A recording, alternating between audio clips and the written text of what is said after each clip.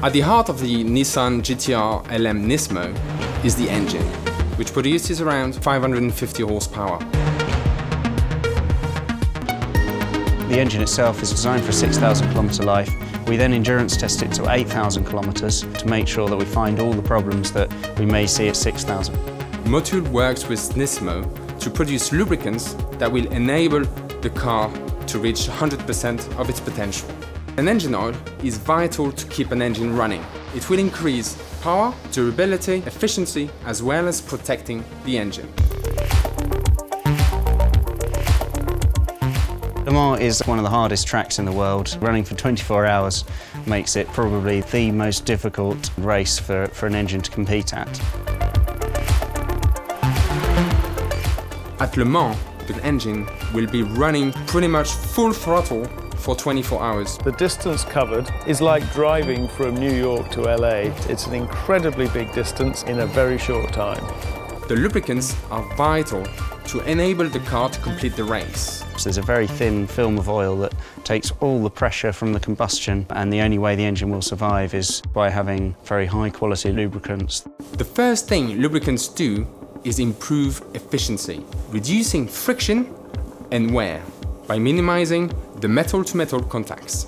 It's really critical that, that the oils reduce the friction as much as possible. Otherwise, that is all just lost power which goes out of the engine in heat. The lubricant acts as a seal between the piston and the cylinder liner, optimizing the power of the engine.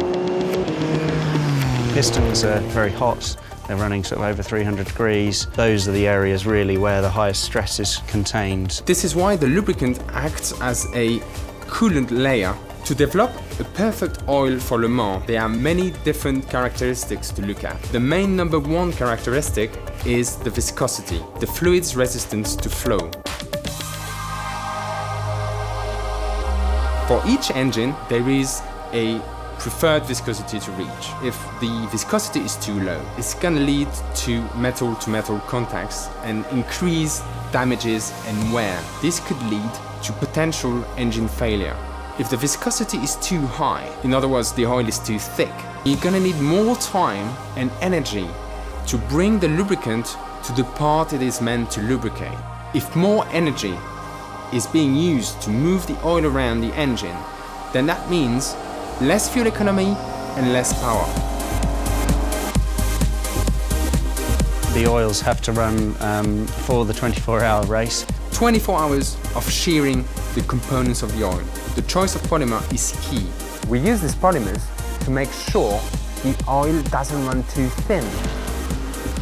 Other key parameters that the oil will be facing is first oxidation temperature and oil consumption. Typically, the race team will communicate to us vital data. These include oil pressure, oil consumption, and ratings of the mechanical parts. From all this, all this data that's feeding into us, we can determine um, the health of the engine and try and spot if anything is going wrong. Our goal is to give back what we learned during the Super GTs and Le Mans into standard Nismo prepared cars. With the oils Motul have developed, we have helped Nismo win on track since 2003. Hopefully, the oils we've developed for the GTR LM Nismo will be as successful in Le Mans.